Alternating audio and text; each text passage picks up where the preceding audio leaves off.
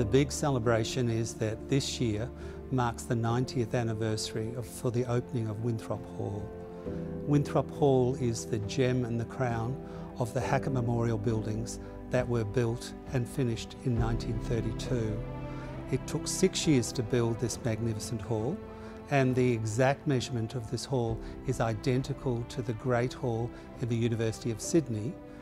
The only difference is, and we tried to get one-upmanship as, as often happens in the West, um, it's 15 feet wider than the Great Hall of the University of Sydney. What we see here is, is a magnificent building and what I'm holding is something that I actually did find at a Save the Children book sale for 50 cents and it's the original program 90 years ago of the opening of this building. One of the wonderful things about the hall, as you can see, is the magnificent window that you see there. That's called the rose window. That's an exact copy from the Basilica of St Francis of Assisi in Assisi, but also uh, with some aspects comes some drama. And the drama really refers to the magnificent stained glass windows that we see here in the hall. If we look to the right, we see the original 1932 or 31 stained glass windows. But in the, when this hall was built at the height of the Depression, there was a, a lack of materials. And so what actually happened was the glass makers added beer bottles into the stained glass mixture.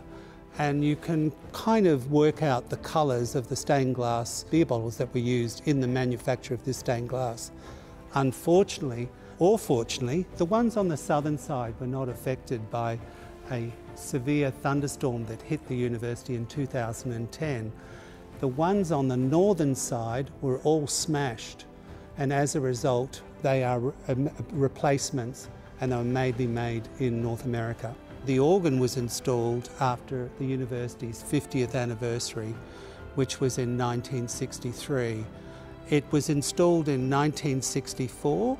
It is the second largest organ in Perth, the largest one being in the Perth Concert Hall. It has in excess of 2,300 pipes. And when graduation ceremonies are held here, you can feel the chairs vibrate and the floors vibrate.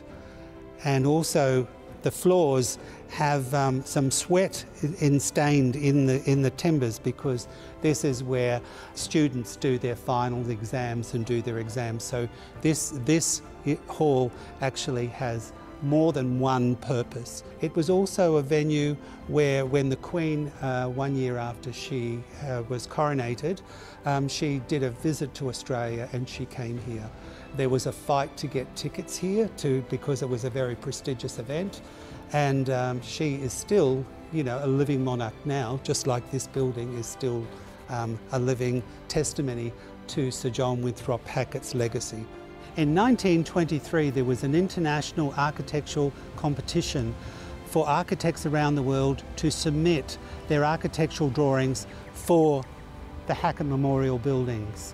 But the principal architect who won this award was Rodney Alsop and Conrad Sayce. They were amazing architects uh, from Melbourne who had incredible vision and their idea of what we see here today stands a true testament to their wonderful work.